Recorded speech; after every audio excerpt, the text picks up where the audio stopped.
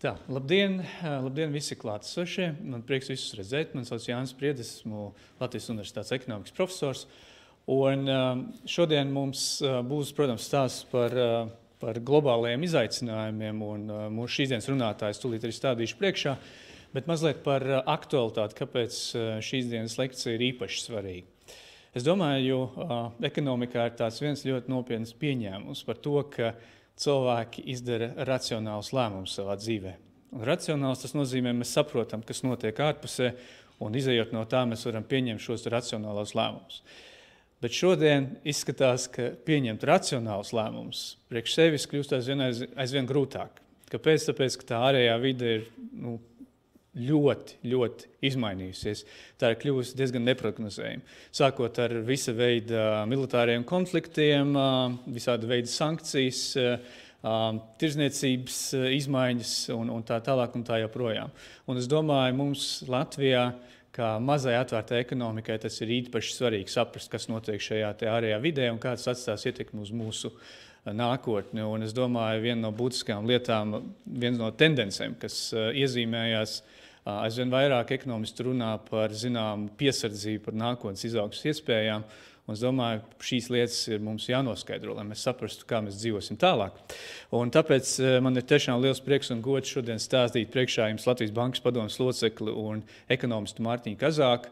Un man tiešām prieks, ka šī veidojās par zināmu tradīciju. Nu, jau īsā laikā, jau otrā lekcija, un mums tiešām prieks, ka radāt laiku šeit atnākt un pastāstīt savu redzējumu par nākotni. Un tad tuvākās stundas laikā aptuveni, tad mēs labprāt gribētu šo dzirdēt, un tad būs nedaudz laiks arī jautājumiem un atbildēm. Jā, lūdzu. Paldies. Uh, dāmas kungi, paldies, prieks jūs redzēt. Jā, es ceru, ka tā ir, zinām, tradīcija nu jau ja, ka Latvijas banka ir atvērtāka, ka Latvijas banka stāsta par to, ar ko tā nodarbojas, ja, kādus lēmumus pieņem, kas notiek ekonomikā, kas iedzīvotājiem, uzņēmējiem, ja, politikas veidotājiem ir svarīgi ja, viņu lēmumu pieņemšanā. Pēc būtības Latvijas banka ir apolitiska institūcija, kas strādā Latvijas valsts labā. Ja, manuprāt, spēcīga un jaudīga centrālā banka – valstī ir priekšrocība. Jā, ir priekšrocība, nevis kaut kāda ekstravagants. Jā.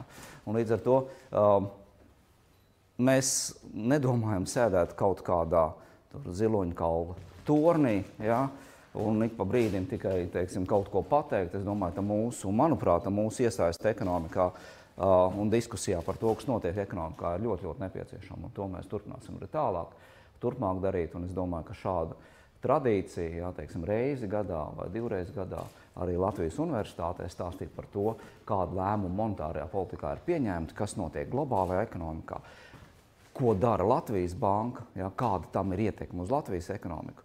Manuprāt, ir ļoti, ļoti nepieciešama. Ja.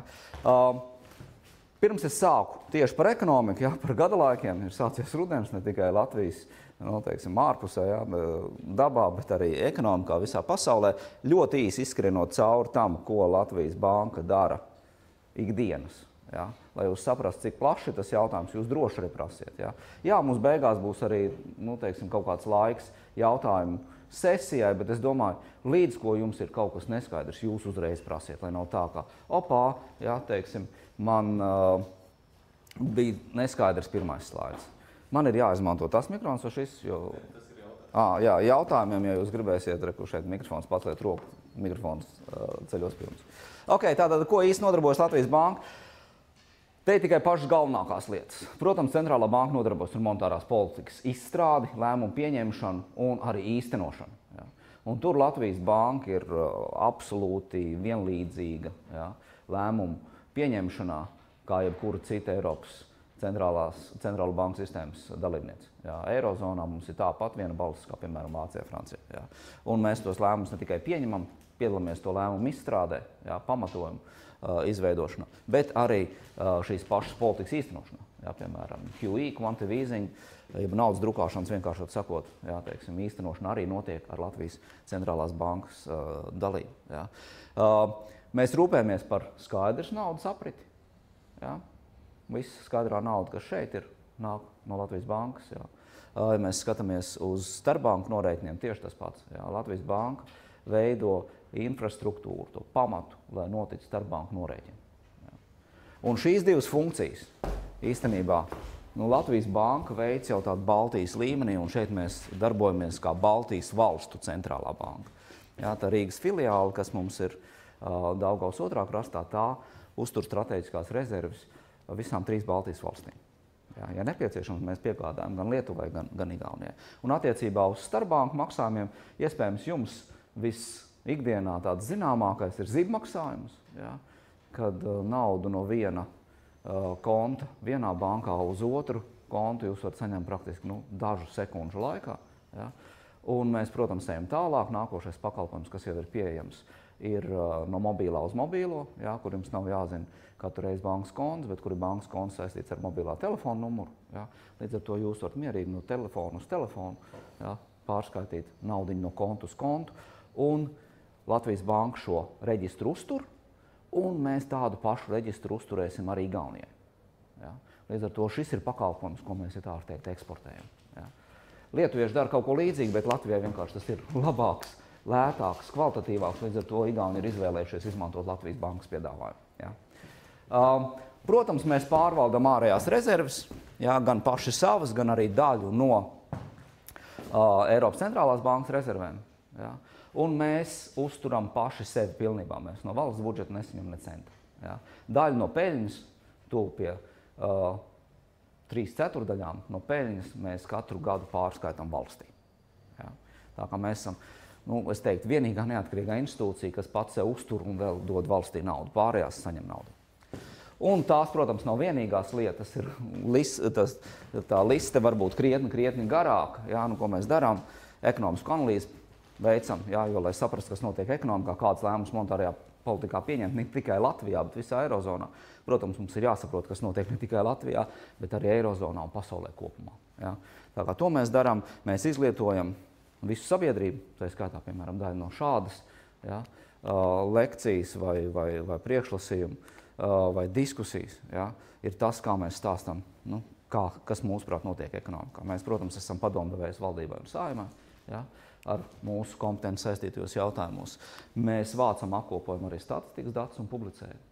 Ja, piemēram, visu maksājumu bilances un monetārā statistika nāk no mums. Ja. Mēs pārstāvam Latviju dažādās starptautiskās institūcijās, tā skaitā valūtas fondā, tā skaitā uh, arī uh, uh, latviski pat ne Bank for International Settlements, jā, centrālo banku banka un tādas lietas. Jā. Un, protams, arī mēs izlaižam monētas. Jā. Iespējams, par ar šo lietu mēs esam visslavenākie, bet visticamāk tas aizņem vismazāko daļu no mūsu laika. Jā. Tā kā tas jautājumu lokus ir ļoti plašs. Bet uh, ejot tālāk uz to, kas notiek ekonomikā, vēl vienreiz atgādināšu, ja jums ir jautājumi, lūdzu uzreiz prasiet. Jā. Tā būs gan jums ērtāk, gan man vieglāk ja es runāju pa ātru, jūs man piebremzējat, ja es runāju pa lēnu, ja, jūs uh, man pastumat uz priekšu. Ja. Stunda ar astīti ekonomikai nu diena nav daudz, ja, tā kā ekonomika ir arī mans hobijs, es varu runāt krietni ilgāk par to, nekā jums varbūt tās ir interesi. Ja. Tā kā mēģiniet man bīdīt tajā virzienā uz jautājumiem, kas jums interesē vairāk. Sarunāts? Priekšrocība, protams, ir tiem, kas šeit ir. Tie var uzdot jautājumus, tie, kas skatās tiešraidē. Nu, diemžēl jā, jums bija iespēja atnākt šeit. Jā. Jūs varat noklausīties, bet, diemžēl, jautājumus šoreiz jūs uzdot nevarat. Tātad, kas notiek ekonomikā? Sākšu ar pasauli, protams, bet, ja mēs skatāmies uz visu globālo ekonomiku, tā īsumā sakot, vasara ir beigusies, jā, bet tas nu dienu nenozīmē, ka tūlīt būs barga ziema. Vairākas lietas. Pirmkārt, nu, uh, Neviens nezina īsti, kāda būs zima, bet, ja mēs skatāmies no Latvijas ekonomikas pozīcijām, tad tā zima šo, šoreiz nu, būs netik barga, kā mēs redzējām, piemēram, 8., 9. un 10. gadā. Tam vienkārši nav pamata. To nesabalansētību Latvijas ekonomikā tādu nav, jā, kā mēs redzējām iepriekšējā reizē. Otra lieta, nu, tāpat kā dabā, jā, parasti pēc vasaras ir rudens, ir atvasara, jā, un tad tikai tas ziem iestājas. Un tas ir ļoti, arī ko mēs redzam šodien, jā, pagājušajā nedēļā bija praktiski mīnusi, ja? tagad mums atkal ir ļoti silts. Ja? Bet, protams, tā ziema pamazām tuvojas, pasaules ekonomika aug jau ļoti ilgi, ekonomika ir cikliska, ja? kā kādā brīdī šī recesija būs. Ja? Tas ir neizbēgami. Ja? Tagad mazliet par tiem faktoriem, un ko mēs pašlaik redzam. Ja mēs skatāmies uz izaugsmu pasaulē, un šeit tas ir reālais IKP, kreisajā pusītē gads pret gadu, dažādas valstis, ja? ko mēs redzam? Mēs redzam ka pēdējā gada pusotra laikā tā izaugsme ir kļuvusi lēnāka. Ja. Un tas lielākās ekonomikas, kas šeit ir, ir ASV, Francija, Vācija, Itālija. Ja. Un arī teiksim, mums caur finanšu sektoru, lai interesantāk paskatītos, mēs redzam arī Zviedriju. Un Zviedrija arī tā izaugsme ir kļuvusi lēnāka. Tā interesantā lieta, tur ir divi pēc būtības faktori. Tas pirmais ir izaugsme kļūst lēnāka, un otra lieta, tā izaugsme kļūst lēnāk sinhrona. Ja? ja var būt situācijas, kad vieniem tā ekonomika aug ļoti strauji, citiem ir lēnāk, tad, ko mēs redzam, tā palielināšanās notiek praktiski visur. Ja? Ja mēs savukārt skatāmies nevis uh, gads pret gadu ciparus, ja, bet skatāmies šeit sezonāli izlīdzinātais IKP ceturksnis pret ceturksni, ja, Proti, kas notiek ar to izaugsmas ātrumu? Ko mēs redzam? Mēs redzam diezgan līdzīgu bildi. Jā, mēs redzam, ka svārstības tur ir, bet, piemēram, Vācijā, ko mēs redzam, ka otrais ceturksnis, un tie ir jaunākie pieejamie dati, kas pašlaik ir, trešais ceturksnis vēl nav zināms, tas būs mēneša beigās. Jā. Mēs redzam, ka Vācijā Otrais ceturksnis šogad bija mīnusos. Ja, un ļoti iespējams, kā jūs mazliet vēlāk arī redzēsiet, tas galvenais ir apstrādes rūpniecības vājums. Ja, un tas ir Vācijā divu iemeslu dēļ, gan dēļ tirzniecības kariem, gan dēļ auto industrijas. Ja. Um, ļoti iespējams, ka Vācijai trešajā ceturksnī būs arī mīnus, līdz ar to tīri formāli Vācija ieslīdēs recesijā. Ja. Un tas var pavilkt līdzi arī mazliet citas ekonomikas. Ja skaties gads pret gadu, tāpēc būtības arī Itālija, dzeltenā līkuma, nu nekādos dižos plusos nedzīvo. Ja. Uh, ja mēs skatāmies uz Zviedriju, tur tā amplitūda ir milzīga no ceturkšņa uz ceturkšņu, bet kopumā jūs redzat, arī tā izaugsme pēdējos ceturkšņos ir diezgan vārga. Ja. Jūs redzat, Francija turas vēl diezgan labi, ja. ASV arī. Ja. ASV daļa ir arī politiskās cikls. Ja. Mēs zinām, ka būs prezidenta vēlēšanas nākošo gadu beigās. Ja? Un tas arī ietekmē ekonomisko aktivitāti. Ja jums jautājumi detalizētāk par to droši prasiet. Bet kopumā, ko mēs redzam, pasaules ekonomika aug, ja? bet tā izaugsme kļūst lēnāka un tā izaugsmes palēnināšanās ir sinhrona nu, vairumā valstu. Ja? Un, ja mēs savukārt skatāmies uz riskiem, kas varētu notikt tālāk, nu, visticamāk izskatās, ka izaugsme turpinās kļūt lēnāka. Ja? Jā. Pagaidiet, pagaidiet mazliet, ja, tūlīt. Kas ir, kas ir Āzijas reģionā konkrēti Ķīnā? Jā, ok. Um, Nē, es šeit ielicis, bet tur mēs arī redzam ekonomikas tempu sabremzēšanos. Ja var ticēt viņu datiem, ja mēs runājam par Ķīnu, ja var ticēt viņu datiem, kas gan ir diezgan apšaubām, ja, tad izaugsme pie tiem 6% vēl ar vienu ir, bet Ķīnu bremzē pēc būtības divas lietas. Pirmais ir struktūrāls pārmaiņas. Ja, Ķīna ir augusi ļoti, ļoti strauji. Uh, galvenokārt nu, pēdējos 20 gadus, ja, galvenokārt tieši dēļ investīciju kāpuma. Ja. Bet nu, investēt jau var tikai nu, līdz zināmai robežai. Tad tas izaugsmas modelis ir jāsāk mainīt. Un Ķīnā notiek šī pārmaiņa no cerams, ja, no investīciju virzītas izaugsmas, vairāk uz patēriņu virzīt izaugsmu. Sabiedrība arī kļūst turīgāka. Ja? Un tas nu dienu nav bezsāpīgi. Ja? Šādi pārmaiņu procesi ir grūti sarežģīti ja, un arī sarežģīti vadām. Tā ir viena lieta. Ja. Un līdz ar to tur jau dabiski šī sabremzēšanās ir iekšā. Ja.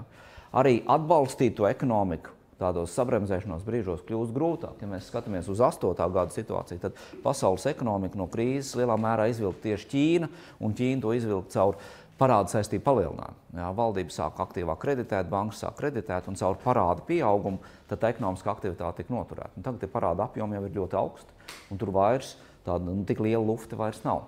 Jā. Bet pašlaik īstermiņā, protams, tas galvenais negatīvais efekts uz Ķīnas ekonomiku ir tirsniecības kara ar ASV. Jā. Un tas arī mazina gan uh, noskaņojumu, jā, kā es mazliet vēlāk arī rādīšu, jā, gan arī nu, teiksim, tos kopējās tirsniecības plūsmas. Jā. Un šie tirsniecības kari, kā jau minēju, arī viens no galvenajiem iemesliem, kāpēc Vācijas ekonomika pašlaik jūtas krietni vājāk nekā tas bija iepriekš. Jā.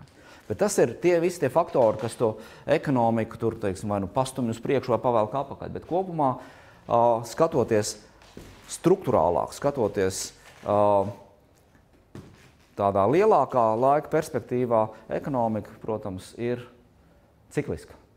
Ja?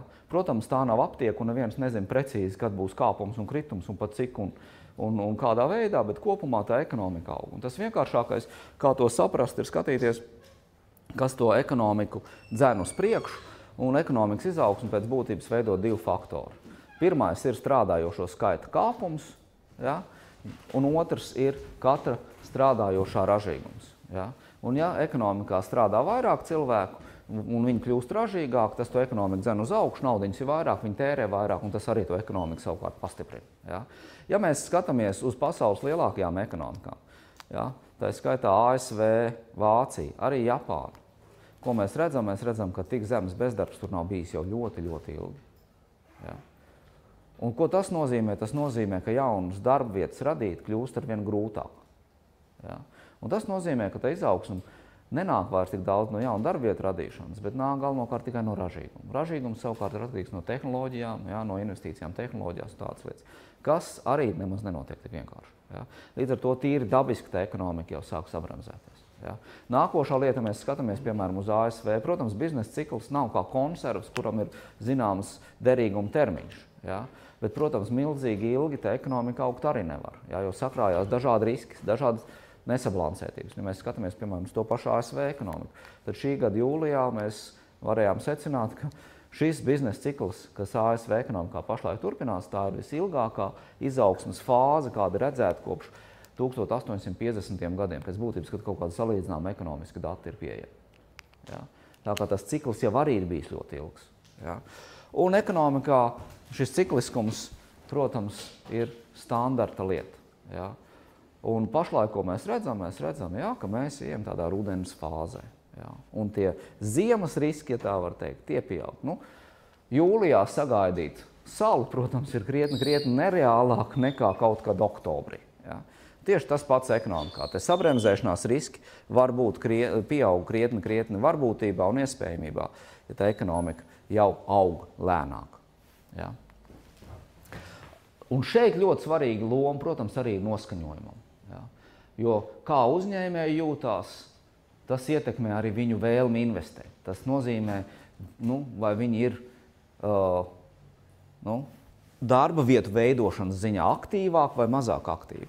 Un šeit tas bēdu stāsts, šeit ir sadalīts, jā, šeit ir uh, apstrādes rūpniecība un šeit ir pakalpojumi, ko mēs redzam, ka arī sinhroni lielajās ekonomikās, ekonomikas tās pašas, kas iepriekšējos attēlos, jā, ko mēs redzam, mēs redzam, ka noskaņojums samazinās sinhroni visās valstīs. Šis ir uh, pie, tā saucamais pieejamāja vai iepirkuma menedžera indeks. Ja, ja indeks noslīd zem 50, tas nozīmē, ka nozara gaida, ka apjomi samazināsies. Ja indeks ir virs 50, tad tas vēl ir optimistisks, gaida, ka ekonomika augs, ja, ka nozara augs, varbūt uh, lēnāk nekā iepriekš, ja tā tendence iet uz leju, bet virs 50 vēl ar vienu plusu. Ja mēs pašlaik skatāmies uz šīm ekonomikām, jā, pēc būtības visas jau ir zem 50, tas dziļākais kritums ir tieši Vācijā. Ja mēs skatāmies uz pakalpojumiem, tad tur mēs esam virs 50 vai pie, pie 50. Jā, pakalpojumu nozara vēl ar vienu aug diezgan labi, skats nākotnē diezgan optimistisks, bet, protams, ne tāds, kā tas bija gadu divus atpakaļ. Jā. Un tā bāža ir, ka vājums apstrādes rūpniecībā var pavilkt uz leju arī pakalpojumu sektoru. Tas ir viens no riskiem. Jā, pašlaik pakalpojumu sektors ir bijis diezgan robusts. Jā. Un, ja mēs skatāmies piemēram arī uz Latvijas eksporta struktūru, jā, mēs redzam, ka pakalpojumi jūtas vēl diezgan labi. Jā. Krietni labāk nekā apstrādes rūpniecība kopumā. Jā. Tā kā vasara ir beigusies arī noskaņojuma pusē, nu, bet tas nu uzreiz nenozīmē, ka visā ekonomikā tūlīt būs ziema. Jā, kā mēs redzam, pakalpojumi vēl ar vienu turas diezgan, diezgan pieklājīgi. Savukārt apstrādes rūpniecībā tur tiešām ir ziema. Jā. Kas notiek ar ekonomiku kopumā? Šādos brīžos, protams, monetārā politika ir atbalstoša. Jā. Centrālā banka, tā skaitā Latvijas banka, darīs visu, lai ekonomiku atbalstītu. Ja? Un tas galvenais instruments ir caur zemākām procentu likmēm. Un, ja mēs skatāmies uz lielajām centrālajām bankām, ja, un šīs ir viņu bāzes likmes, ja, mēs redzam, ka ASV Federālo rezervi uh, sistēma ja, augstē, augšējā līknī, līknī jau ir sākuši samazināt savus likmes. Ja. Ja mēs skatāmies uz uh, ECB. Jā, šeit mēs redzam, ka likuma samazinājums nav, jo galveno refinansēšanas likumu mēs neesam samazinājuši. Jā, bet mēs esam samazinājuši septembrī depozītu iespējas likmi no mīnus 0,4 uz mīnus 0,5. Arī, lai dotu signālu ekonomikai, ka ekonomika tiks balstīta arī ar monetārās politikas palīdzību. Ja? Centrālās bankas tādā brīdī, kad ekonomika bremzējas, cenšas samazināt aizņemšanās izmaksas un iepludināt tirgos vairāk naudas, lai patēriņam un investīcijām būtu lielāks atbalsts. Ja? Ka nauda ir lētāka, aizņemties ir lētāk, investēt ir vieglāk. Ja? Tā kā monetārā politika joprojām būs atbalstoša. Ja? Un, ja mēs skatāmies uz finanšu tirgiem, finanšu tirgi arī to sagaida. Šeit jūs redzat ECB stāstu, šeit ir Federālo rezervi sistēmas stāsts pēc būtības, ko mēs redzam, kas teiks, gaidas uz šī gada beigām, ja, mēs redzam, tas, ka paaugstinās, tā varbūtība ir ļoti, ļoti maza. Ja, ASV tā varbūtība ir nekāda. Ja, ja mēs skatāmies savukārt, uh, nu, tas solis ECB jau tika spērts septembrī, tad šogad turpat 50% negaida, ka likmes cels. Ja, bet uh, es atvainojos, ka ka nemainīsies tas lielākais. Ja? Tā kā tas solis jau ir spērts, šogad likums visticamāk finanšu tirgi gaida, ka centrālā banka vairs, vairs neko īsti nedarīs. Savukārt, ja mēs skatāmies uz ASV, kur tas likums ir augstāks un tā rezerve samazinājumam ir lielāka, ja? mēs redzam, ka tirgus gaida, ka federālo rezervu sistēma samazinās likums, balstot ekonomiku. Ja? Vai tas šoreiz ir vienkārši? Diemžēl šoreiz mēs pēc tādas standarta mācību grāmatas neejam. ASV iet mazliet vairāk, jo tas likums vēl ir plusos. Ja mēs skatāmies savukārt uz Eiropu, jā, uz Eirozonu, uz Eiropas centrālās bankas monetāro politiku, tur diemžēl mēs redzam, ka likums jau ir mīnusos. Likums ir negatīvs. Jā. Un tādā situācijā mēs nekad īsti neesam bijuši. Jā. Un, un tas interesantais, protams, ko mēs redzam, neskatoties uz visu to lielo naudas ieplūdu ekonomikā, neskatoties uz vēsturiski ļoti zemām procentu likmēm, centrālās bankas, Eiropas centrālās bankas mērķis ir inflācija zem, bet tuvu 2%. Un, ja mēs skatāmies uz situāciju pašlaik, ja, tad tā, inflācija ir tālu no 2%. Ja, mēs skatāmies uz, uz pamatinflāciju, kur ir izņemta ārā pārtika un enerģiju, jā, tur mēs redzam pie 1%, un ļoti līdzīgu bildi mēs redzam arī kopējā uh, inflācijas tempā, arī pie 1%. Jā. Bažās par to, ka inflācijas gaidas var tā saucot attēnkuroties. Jā. No, tam, no tiem pusotra, diviem procentiem arī centrālā banka, Eiropas centrālā banka arī septembrī ļoti plaši palielināja atkal šos ekonomikas atbalsta instrumentus. Ja? Bet, ja mēs skatāmies uh, uz nākošo gadu, tad, diemžēl, pašreizējās prognozes arī nav diezgan iepriecinošas. Ja? Inflācija tuvāk 2% tā ļoti ietiepīgi negrib iet. Ja? Tas nozīmē, ka ekonomikā šī monetārā politika joprojām būs ļoti atbalstoša. Jo Eiropas centrālās bankas vienīgais mērķis, ja, galvenais mērķis ir cenu stabilitāte. Un cenu stabilitāte ir definēta kā inflācija tuvu, bet zem 2%. Ja. Vēl tad, protams, spēja ekonomikai palīdzēt krīzes situācijā būtiski mazinās dēļ tā, ka likmes jau ir negatīvas. Un šeit, ja mēs skatāmies desmitgadīgās uh, obligācijas, valdību obligācijas, mēs redzam, ka lielai daļai šīs obligācijas jau ir ar negatīvu ienesīgumu. Ja mēs redzam Vācijas obligācijas pie apmēram mīnus 0,6. Ja? Pēc būtības, ja jūs gribat aizņemties, uh, tuli, ja jūs gribat aizņemties naudu, es atvainoju, ja jūs gribat aizdot Vācijai naudu, ja, tad jums būs tas prieks samaksāt apmēram 6%. Desmit gadu laikā jūs zaudēsiet apmēram 6-7% ja, par šo privilēģiju aizdot kādam naudu. Vai tas ir normāli? Nē. Ja? Un līdz ar to arī, ja mēs skatāmies no tādas mācību grāmatas ja, satura, šādu lietu mēs īsti nekad neesam redzējuši. Ja. Lūdzu, jā. Neliels jautājums par šo te, nu, arī zināmā mērā mācību grāmatas saturu. Mm. Un, um, monetāro politiku un zemajām procentu likmēm. Mm. Jo tad, kad šī politika sāka nu, teiksim, izpausties, uh, tādas valstis kā Vācija, kurā, mm. piemēram, uzkrājuma kultūra ir mazliet citādāka. Uzkrājuma veidošanas kultūra. Jā, jā. Protams, Baltijas valstīs tas arī ir citādāk, bet jā. varbūt varētu pakomentēt, kā jums liekas, teiks, jo tie Vācijas uzkrājēji jutās jā. ļoti sodīti par savu jā. disciplīnu. Un, un Jā. vai, vai šāda politika ir attaisnojama attiecībā pret tiem, kas uh, mēģina veidot uzkrājumus? Protams, jā, uh, tas īstenībā ir viens no pamatjautājumiem. Jā, tas ir tas, kur mēs redzam to lielāko diskusiju Eiropas centrālajā uh, bankā ja, un uh, ekonomikā kopumā. Ja. Tas periods ar tām ļoti zemām likmēm ir ievilcies. Ja. Un tie, kas ir uzkrājuši, tie to naudu zaudē. Ja, jo viņu, viņiem inflācija nenokompensē. Viņiem pat to naudu paņem nost. Līdz ar to tas risks ir, lai spētu nopelnīt, piemēram, tādu pensiju fondu, kaut kas iet augstāku risku. Darījumos, vērtspīros, ja, kur tā iespēja zaudēt naudu ir lielāka. Ja, lai spētu kaut ko nopelnīt. Līdz ar to tā viennozīmīgi ir problēma. Bet te ir divas lietas. Ja. Tas pirmais ir tāds, ka, protams, ir atšķirības teiksim, viedokļos valstu starpā. Ja. Nu, Itāļi, piemēram, nu, dien, nu, nebēdājas par to, ka likums ir ļoti zems.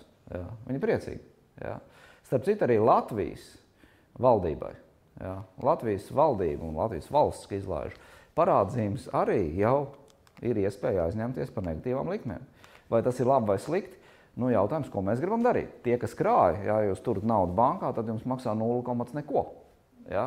Bet savukārt, ja jūs gribat investēt, nu, tad jums nauda arī dod par ļoti lētu cenu pēc būtības. Ja? Līdz ar to tas jautājums, es pat teiktu, ka Latvijas situācijā pašlaik, lai ja mums ir labi biznesa plāni, mēs zinām, ko tu naudu darīt, tad tas zemās likmes mums ir ļoti labs, jo mūsu uzdevums ir ekonomikā investēt, vilkt uz augšu ražīgumu. Tas mums dod iespēju. Jā, diemžēl tie, kas uzkrāja, tie tajā brīdī to naudu neiegūst. Bet cerams, ka no tā ražīguma kāpuma no algu kāpuma mēs iegūstam vairāk nekā mēs zaudējam no uzkrājumiem, kur mēs neko nenopelnām. Ja? Bet, uh, un tas otrs faktors, protams, tas nav vienkārši. Ja? Bet mēs runājam šeit, Eirozona ir tomēr monetārā savienība. Ja? Un Eirozona neveido savu monetāro politiku vienai atsevišķai nacionālai valstī. Eirozona neveido monetāro politiku Latvijai. Eirozona neveido monetāro politiku Vācijai vai Itālijai. Eirozona veido monetāro politiku visai Eirozonai. Ja? Un līdz ar to šie svaru kausi vienā brīdī var aiziet vienas valsts nu, labā, citā brīdī citas valsts labā. Ja? Bet tā problēma ir, ka šis zemo procentu likmi periods ir tiešām ievilcies. Ja? Un tā viennozīmīgi ir problēma. Ja? Un tas rada politiskas nesaskaņas. Un, kā jūs redzējāt, pēc septembra uh, ECB monetārās uh, sēdes ja, šis kašķis tika iznests arī publiski. Ja, un atsevišķi centrālo banku vadītāji pateica, ka viņi nepiekrīt šim lēmumam. Ja, tās ir valstis, kas ir tiešām to krājēju pusē, ja, kuriem zemes procentu likmes par labu nenāk. Viņas jau tā ir zemes. Ja. Bet tur ir vēl viena lieta. Ja, um, ja mēs skatāmies uz uh, uz uh, to ekonomisko situāciju, pieņemsim, ka ekonomika sabremzēs, un tas būs kaut kad. Ja? Tur tā būtiskā lieta ir tāda, ka eiro sistēmā, protams, Eiropas centrālajai bankai tas instrumentu klāsts vēl ar vienu ir ļoti plašs, un to ekonomiku varēs balstīt.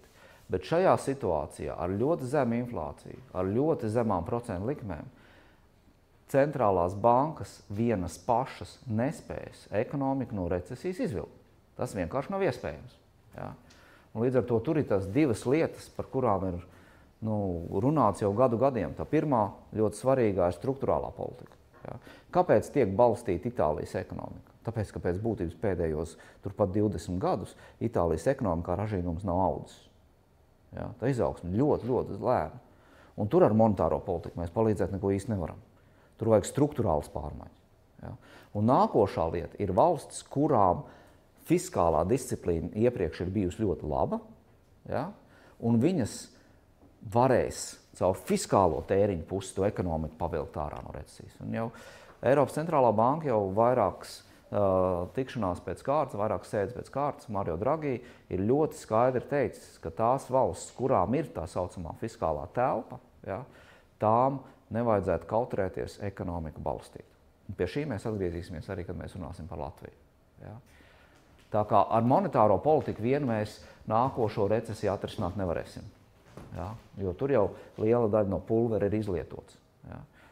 Un tas fiskālās politikas un struktūrālās politikas vājums daudzos gadījumos līdz šim, nu, diemžēl, ir licis monetārai politikai būt aktīvākai, agresīvākai. Ja? Nākotnē bez fiskālās un struktūrālās reformas mēs no tās krīzes Eirozonā kopumā ārā ātri netiksim. Ok, kādi jautājumi? Tik tālu vēl var iet uz priekšu. Ja? Tā kā tās ir tās ekonomiskās sakrības, bet, protams, viens no tiem galvenajiem svārstītājiem, kā jau es dažus no tiem elementiem jau minēju, ekonomikas noskaņojuma pusē, pieprasījuma pusē, piedāvājuma pusē, protams, ir arī šī ģeopolitiskā nenoteiktība. Ja? Tie ir tirzniecības kari starp ASV un Ķīnu, ja? iespējama tirzniecības konflikts starp ASV un Eiropas Savienību, un kā vienu jau mēs redzam, piemēram, Airbus ja? risku, ja? kur ASV grasās ieviest diezgan plašas sankcijas pret Eiropas Savienību, ja? kas atkal mazinās noskaņojumu, kas ietekmē akciju tirgus, kas ietekmē finanšu tirgus, kas ietekmē uzņēmumu vēlmi uh, investēt un iedzīvotāju vēlmi tērēt. Ja? Un Trumps ar saviem tvītiem ja, daudzos gadījumos to arī nu, diezgan šūpina. Ja? Nu, skatāmies, kas notiek tagad Turcijā, ja? kas notiek ar NATO, kas notiek ar to, to, to un vēl kaut ko. Ja? Tas to nenoteiktību viennozīmīgi palielina. Ja? Un pat ja jūs varat izvēlēties, ok, es šos tvītus nelasīšu, tad problēma ir tāda, ka citi lasa. Ja? Un līdz ar to citi kustina to tirgu. Ja? Tā kā, tāda ignorance ja, un vienkārši nesekošana šīm lietām jums nepalīdzēs. Labāk sekot un, kā Jānis sākumā teica, ja, lai pieņemtu lēmumus, labāk zināt, kas notiek. Ja, nevis vienkārši ignorēt šīs lietas. Okay? Tā kā um, tirsniecības kari, jo īpaši mums, kā mazai atvērta ekonomika, un lai gan ar ASV un Ķīnu mēs tiešā veidā tirgojamies ļoti maz, ja, tas netiešās saites ir ļoti tiešas, ciešas. Ja, un plašas. Ja mēs skatāmies piemēram uz mūsu galvenajiem tirzniecības partneriem, ja, tad piemēram Vācija mums ir ļoti būtisks tirzniecības partneris. Mums ir Zviedrija ļoti būtisks tirzniecības partneris. Ja, Zviedrijai viens no galvenajiem tirzniecības partneriem ir ASV, Vācijai ļoti būtisks tirzniecības partneris ir Ķīna. Ja, un tas mūs ietekmē ļoti, ļoti ātri. Ja. Un neskatoties pat uz to, kā ģeopolitika ietekmē, piemēram, naftas cenas, savukārt naftas cenas ietekmē Krievijas ekonomiku, un Krievijas ekonomika joprojām arī Latvijai ir viens no galvenajiem tirzniecības partneriem. Ja? Un ļoti koncentrēts atsevišķos sektoros, tādos kā tranzīts ostas. Ja? Tā kā šī, šī situācija pašlaik pasaules ekonomikai nepalīdz. Ja? Nu, cerams, ka Trumps uh, grib tikt pārvēlēts, jā, tas nozīmē, ka viņam arī pa labu nenāk, ja tas konflikts eskalējās pārāk daudz un ASV ekonomika sabremzē pārāk strauji. Līdz ar to arī tie tirzniecības kari visticamāk ir nu, tādi mazliet pievēl groži, tad, kad nepieciešams, tad palaiž vaļīgāk. Jā. Līdz ar to tāds ticamāks bāzes scenārijs, ja gadījumā kaut kas netīšām nenobrūk, ir tas, ka pasaules ekonomika turpina augt, bet tā izaugsme ir lēna. Un tā galvenā izaugsme veidojās, jā, teiksim, ja mēs skatāmies piemēram uz valūtas fondu vakar Uh, pro, uh, publicētajām prognozēm, tas galvenais izaugsmes devējs 20. gadā būs attīstības tirgi. Ja? Tur būs tā straujākā izaugsme. Ja? Tūp pie 4%. Ja? Savukārt, ja mēs skatāmies uz attīstītajām valstīm, Eiropas Savienībā, ASV, tur tā izaugsme vēl ar vienu būs ļoti lēna, nu, ap pusotru procentu tikai. Okay, tātad, kas notiek Latvijā? Uh, kā tas ietekmē Latviju? Latvija maz atvērta ekonomika, ar lielu eksporta īpatsvaru. Ja? Daļa no eirozonas, līdz ar to monetārā politika arī visai eirozonai vienota, ko mēs redzam. Pēc ļoti straujas izaugsmas 17. un 18. gadā, kad izaugsme bija tuvu pie 5%, mēs redzam, um, ka arī Latvijā šī ekonomika sāk bremzēties. Izaugsme vēl ar vienu ir, ja, bet izaugsme kļūst lēnāk. Ja mēs skatāmies uz šo līknīti, tas ir uh, ceturkšņi gads pret gadu. Ja. Tie stabiņi ir ceturksnis pret ceturksni. Ja? Ko mēs redzam? Mēs redzam, ka ja pagājušajā gadā izaugsme bija ap 5%, tagad mēs redzam, ka tā ir ap 3% un noslīd jau zem 3%. Jaunākie cipari ir par otro ceturksni, trešais ceturksnis vēl nav zināms. Tā interesantā lieta, ko mēs redzam, ne tikai tas, ka izaugsme kļūst lēnāk, ja? lai gan tuvu pie 3%, nu diena nav slikti. Ja? Tā kā pārspīlēt ar negatīvismu, nu diena nevajag, izaugsme ir, Ja, tas nav tā, ka mums jau ir recesija. Tā nav.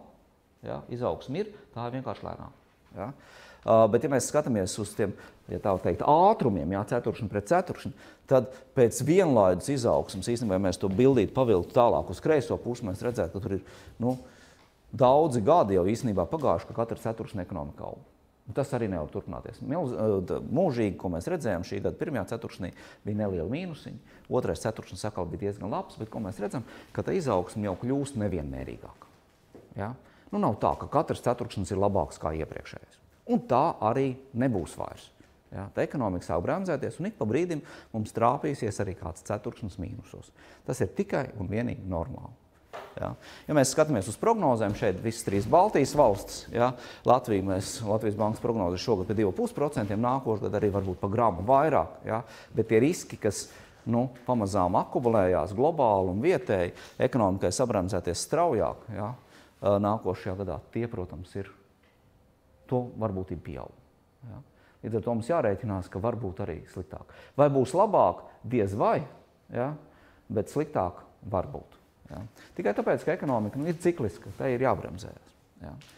Uh, ja mēs skatāmies, kas ir tie vieni no galvenajiem faktoriem, kā jau minēju, teiksim, kas notiek pasaulē, to mēs ļoti labi redzam arī šeit, eksporta datos. Ja? Uh, dzeltenie stabiņi ir preču un pakalpojumu eksports kopā, uh, tumšie stabiņi ir apstrādes rūpniecība un, noskaņ, un savukārt noskaņojums, ja pasūtījumi, ko redz apstrādes rūpniecība, ir dzeltenā līkne.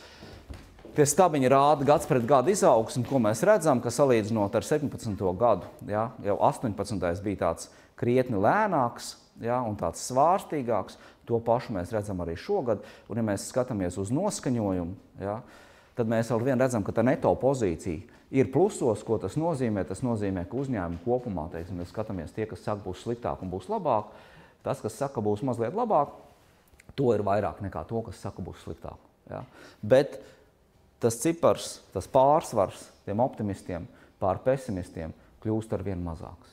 Ja? Tā kā noskaņojuma ziņā arī mēs tur redzam zinām sabremzēšanos. Ja? ja mēs skatāmies savukārt uz, ekspo, uz ekonomikas struktūru, un šeit ir dalījumā pa nozarēm, ja, pa pievienotās vērtības, uh, struktūru. Un šeit iekavās mēs redzam katras nozars īpatsvaru ekonomikā kopumā. Mēs redzam, ka dzeltenais ir 18. Uh, gads, 19. gada pirmā puse ir uh, tumšākais stabiņš. Ko mēs redzam? Mēs arī redzam, ka tā izaugsme kļūst, kļūst lēnāk. Ja? Un tas visuzskatāmākais piemērs šeit ir divas lietas. Ja? Informācija, IKT sektors, ja? pērn ļoti jaudīga izaugsme, šogad vēl ar vienu jaudīgu, bet jau lēnāk. Bet vislielākās izmaiņas mēs redzam būvniecības sektorā, kur pērn bija tuvu pie 25% izaugsme, šogad vairs tikai ap 5%. Ja, tas ļoti raksturo ekonomikas cikliskumu. Ja. Mēs redzam arī mīnusus, ja, bet tie vēl ar vienu ir diezgan izolēti. Tie nav tādi vispārēji mīnusi. Ja.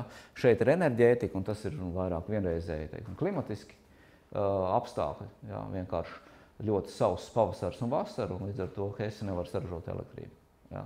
Tas ir galvenais iemesls. Ja mēs skatāmies uz finanšu pakalpojumiem, nu, tas ir nerezidenta biznesa sašaurināšanās efekts. Lielākais kritums bija pērn, kaut kas turpinās arī vēl šogad. Jā, bet tie cipari krietni mazāk. Kur mēs redzam krietni straujāk izaugsmu nekā pagājušajā gadā, ir lauksaimniecība. Un tas arī dēļ klimata. Vienkārši pagājušajā gadā vasara bija ļoti, ļoti sausa. Jā, un rāža bija švaka. Šogad mēs redzam, ka raža bijusi krietni, krietni labāka. Ja. Tas arī mazliet pavilks eksportu uz augšu, graudu eksportu. Jā, graudu eksportu gada beigās, nākamā gada sākumā. Līdzīgi bildi mēs redzam, ja mēs skatāmies dalījumā pa uh, izlietojumu. Ja, mēs redzam, ka privātais patēriņš vēl ar vienu ļoti, ļoti labi aug, ja, bet lēnāk nekā pērn. Tas noskaņojums kaut ko ietekmē arī. Ja. Valdība turpina tērēt, ja, bet tas lielākās izmaiņas mēs redzam tieši investīcijās. Un tas iet ļoti labi kopā ar būvniecības apmēriem. Ja? Vēl ar vienu labi plusi, tuvu 10% gada kāpums, ja? bet krietni lēnāk nekā pērn. Ja, tā kā nu, tas sabrēmzēšanās ir redzama lēnākos izaugsmas tempos. Vēl tādu vispārēju mīnusu mums nav. Ja? Un tie galvenie riski tiem mīnusiem ir ārēji. Ārēji tādā ziņā, kas notiek eksporta pusē, kas notiek tirzniecības pusē, iekšējais tie galvenais risks mums ir manivāls. Jā, tas nav mainījies. Tieši tas pats, kas pagājušajā gadā. Jā. Risks finanšu sektoram. Jā. Un finanšu sektors ir kā tāda perfekta uh, ventilācijas sistēma. Jā.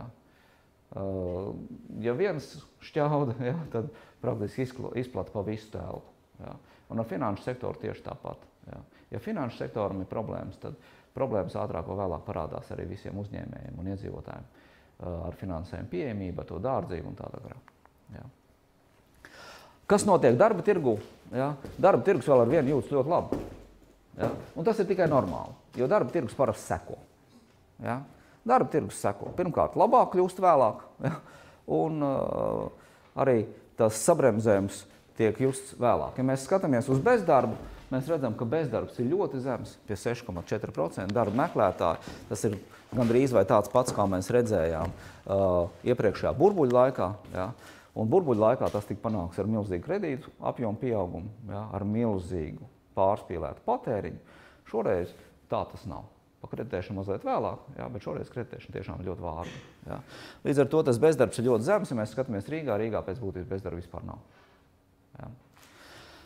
Bet arī darba tirgū mēs redzam, ka tur sāk iezīmēties vājāka izaugsme. Ja mēs skatāmies uz nodarbināto skaitu, gads pret gadu izmaiņām tie stabiņi, ja, pret labo asu mēs redzam, ka tur jau ir kaut kāds samazinājums.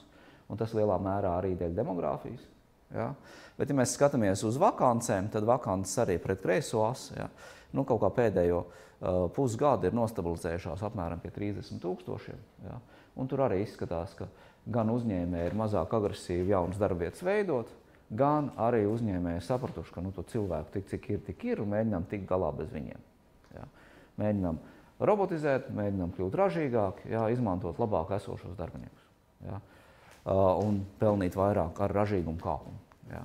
Ja mēs skatāmies uz algām, Pēc oficiāliem datiem algas vēl ar vienu aug diezgan labi. Šeit ir otrais ceturksnis, jau pie 8%. Tā kā tas algu kāpums vēl ar vienu ir strauji. Un atcerieties, inflācija Latvijā ir apmēram pie 3%. Tas nozīmē, vidēji iedzīvotājiem paliek pāri naudas maciņos krietni laba naudas, eh, nu, krietni labs pieaugums. Ja? Tas algu kāpums krietni apsteidz inflācijas kāpumu. Iedzīvotājiem naudas ir vairāk, viņi var tērēt vairāk, un to jūs redzat arī patēriņu ciparos, jā, ka mājasemniecība patēriņš aug pie kaut kādiem 4-5%. Jā. Ja mēs skatāmies savukārt uz uzņēmēju uh, viedokli par to, vai viņiem darba spēka trūkums ir problēma, mēs redzam, ka jā, nu, teiksim, šajās nozarēs, kā būvniecība un apstrādes rūpniecība, tur ir problēma, bet pakalpojumos pamazām jau nu, tas sāk nolīmņoties. Jā.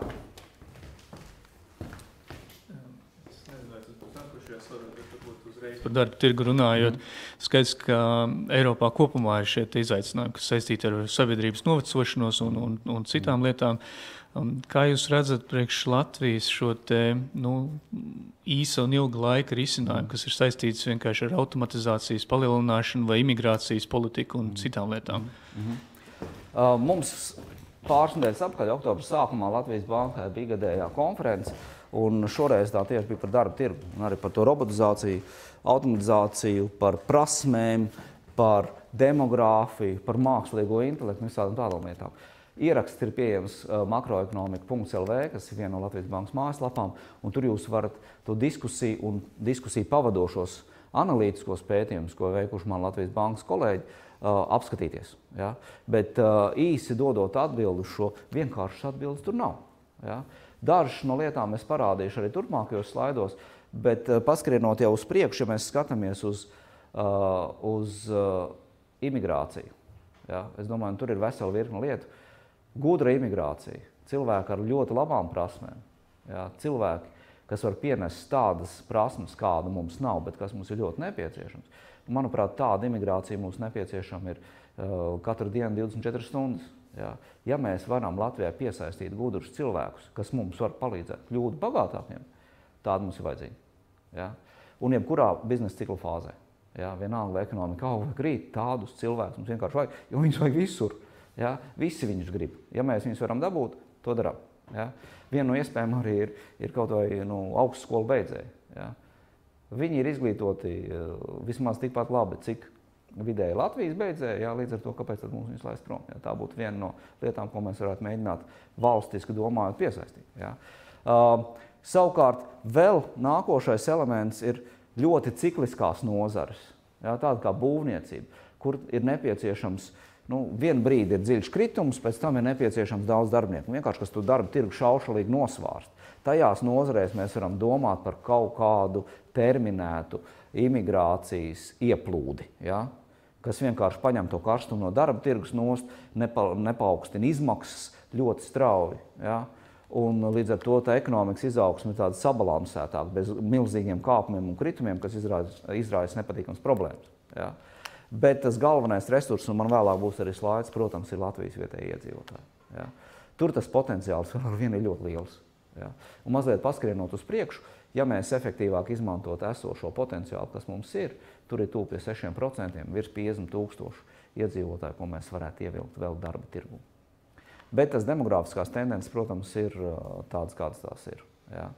Un tas cilvēku skaits darbspējas vecumā, ja nekas radikāli nemainīsies, kritīsies. Ja? Un tas nozīmē, ka mums ir jāmācās dzīvot ekonomikā ar mazāk strādājušu skaitu. Ja? Bet tas jautājums ir krietni plašāks. Jā.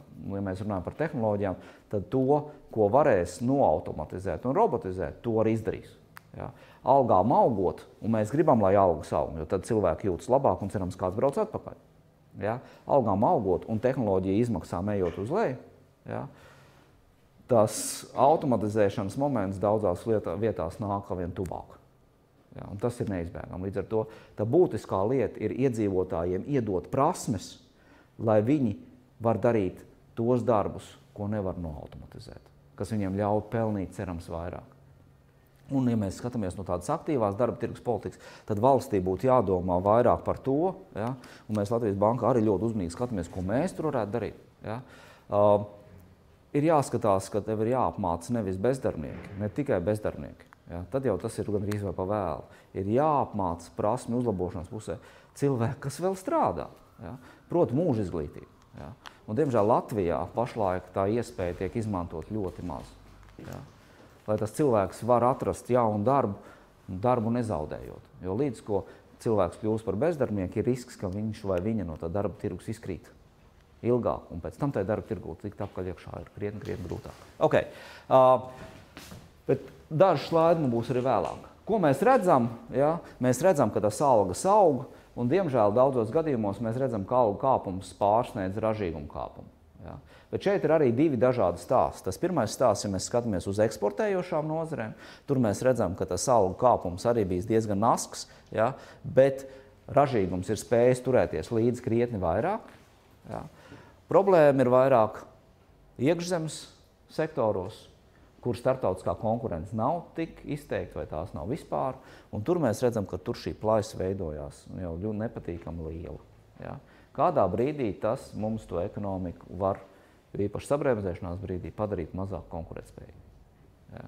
Tā kā ražīguma kāpums ir svarīga lieta. Un šeit es ieteiktu domāt, vispār mainīt to domu gājienu. Ja? Nedomāt, ka algu kāpums ir par strauju. Jā, tūpīgi 10% tiešām ir ļoti strauji. Ja? Bet nedomāt, bet tas nav tie 30, 40%, ko mēs redzējām tur 5. un 6. gadā. Un līdz ar to mans uzsvars būtu skatīties nevis, ka algu kāpums ir par strauju, bet skatīties, ka ražīguma kāpums ir par lēnu. Ja? Jo dzenot ražīgumu kāpumu uz augšu, mēs varam atļauties šo algu kāpumu. Ja? Un tas mērķis ir Latvijas iedzīvotājiem dzīvot labāk, ja? audzēt pārticību. Ja? Tas ir, manuprāt, tas galvenais. Nevis bremzēt, sākt bremzēt algu kāpumu, bet es domāju, domāt par to, kā dzīt uz augšu ražīgumu, ir krietni, krietni produktīvāk. Ja. Uh, un te mazliet par tām, uh, oi, aizskrēju uz priekšu, mazliet par tām uh, rezervēm. Ja. Uh, kolēģi ir aprēķinājuši arī par Igauniju Lietuvu, paliksim pie Latvijas, kur mēs redzam to lielāko potenciālu Latvijai. Ja, oi, aizspied ne tajā virzienā. Uh, Latvijā, kur mēs redzam jauniešu, ar jauniešu nodarbinātību ir diezgan pašvaka. Jā. Tas viennozīmīgi ir viens no sabiedrības segmentiem, kuru darba tirgu vajadzētu ievilkt jaudīgāk. Jā. Un otra lieta ir pusmūža vīrieši un vecāki vīrieši. Jā. Tas ir nākošais segments, kur mums tie cipari krietni atpaliek no, to, ko mēs, no tā, ko mēs redzam citur Eiropā. Jā. Un uh, saliekot visus šos kopā, kā jau minēju, jau teiksim, nu, virs 50 tūkstošiem cilvēku. Jā, tas ir ļoti daudz. Tie visi ir šeit un viņi ir ievelkami darba tirgu. Tas jautājums, protams, ir, vai viņiem ir atbilstošas prasmes. Ja? Un tas prasmes, ja angļuiski sakot, uh, matching problēmas, ja? uh, mismatch uh, prasmes ziņā, ir ļoti, ļoti būtiska. Ja? Un, ko mēs redzam, šeit ir Eiropas Savienības valsts, Latvija ir šeit, tā ir Lietuva, tā ir Igaunija. Ja? Mēs redzam, ka jo augstāks indeks, jo sliktāk. Ja? Tas prasmju, atbil, prasmju atbilstība tirgus vajadzībām ir viennozīmīgi viena problēma. Tas nav tikai prasmes, gal galā tas arī ir geogrāfiskā atrašanās vieta, ja cilvēks dzīvo tur, kur to darbvietu vienkārši tūmā nav. Ja? Arī šī fiziskā mobilitāte ir problēma. Un tas savukārt iet ļoti cieši kopā arī ar bezdarba līmeni kā tādu. Pašlaik tie 6,4% Latvijai vēsturiski ir ļoti zems cipars, bet kopumā 6,4% bezdarbs darba meklētāju ir diezgan augsts. Ja? Kā mēs to varam pavilkt uz leju, un to mēs ļoti labi redzam. Ja, ja tas uh, mismatch indeks augsts, ja, tad arī dabiskais bezdarbs ir augsts. Un Latvija ir šeit. Tā sakarība mēs redzam Eiropas Savienības valstu starpā ļoti, ļoti cieši. Ja. Tā kā, kas mums ir jādara, mums ir jāmazina tie mismatch riski. Ja tas prasmes. Un tad mēs varam, cerams, arī to bezdarba līmeni permanenti nospiest, dabisko bezdarba līmeni nospiest zemāk. Jā, Jānis ļoti aktīvs. Jā.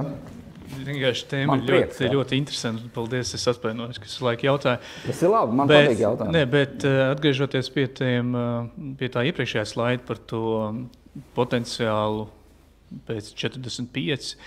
Vai šeit varētu vispār būt stāsts par to sagaidāmo mūža ilgumu jā, un, absolūti. un medicīnas sasniegumiem un mēs pensionēšanās vecumu, kad jā, faktiski jā.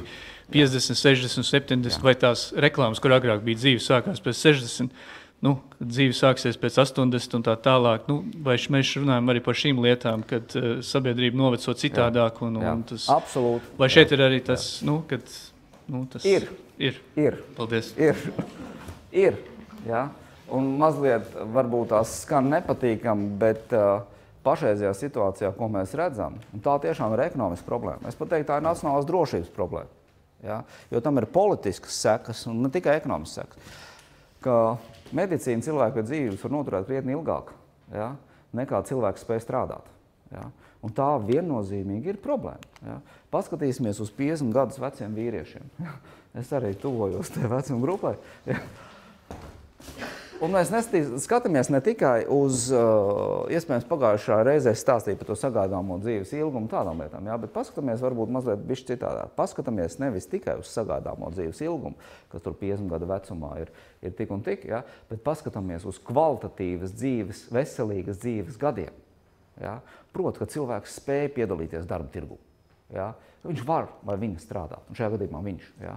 50-gadīgam vīrietim kvalitatīvās dzīves sagaidāmais ilgums ir 10,1 gadi. Ja? Tātad 60,1 gadu vecumā vidēji ja, ar to veselību jau ir diezgan nu, sāk palikt švaki. Ja. Pensija mums nu, diena nav 60 gados. Ja. Tas ir kaut kādos tur, nu, redzēsim, ja, kas notiks nākotnē. Ja. Visticamāk, pastums vēl uz priekšu. Ja, ja cilvēki dzīvo ilgāk, tad vajadzēs strādāt ilgāk. Bet veselība viennozīmīgi ir problēma. Ja. ja cilvēkam ir slikta veselība, tad viņš vai viņa tajā darba tirgu piedalīties nevar. Ja? Tā ir problēma. Ja? Līdz ar to es arī beigās pie šī, tā, šī jautājuma atgriezīšos. Tas ir gan prasmi jautājums, tas ir gan veselības jautājums. Līdz ar to šīs lietas, ja mēs gribam redzēt Latviju sasniedzot tiešām pārtikušu valsts līmeni, bagātas valsts līmeni, slikta veselība un vājas prasmes mums to neļaus darīt. Ja? tās ir ļoti, ļoti kritiskas lietas. Ja. Paskrienot uz priekšu vēl mazliet par to algu līmeni. Ja.